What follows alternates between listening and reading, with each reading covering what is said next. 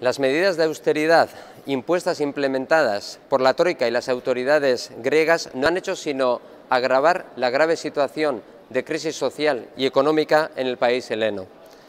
Pero este próximo domingo los griegos votarán para comenzar a cambiar esta gravísima situación y nuestros compañeros y compañeras de Sirisa están en una situación inmejorable para empezar a cambiar las cosas desde el Gobierno.